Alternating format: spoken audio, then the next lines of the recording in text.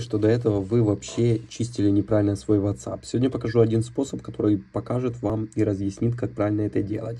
Вы сюда заходите, видите здесь человека, с которым вы переписывались, заходите в него, там у вас будет видео, фотографии, и эти все удаляете. Так вы освобождаете память. Где это все взять, как это сделать? Значит, заходим в WhatsApp, у кого он тоже под блоком, разблокируем. Здесь мы видим вот эту вот ленту в правом верхнем углу, нажимаем три точки, нажимаем настройки, попадаем в вот такой вот экранный действий, да. Здесь нас интересует данные хранилища, здесь у нас, э, во-первых, включаем экономия данных, чтобы у нас меньше данных жрал WhatsApp, да. И здесь управление хранилищем. Дальше мы видим тех э, список людей, с которыми мы общаемся, перенажимаем туда, попадаем к тем людям и удаляем фотографии и видео.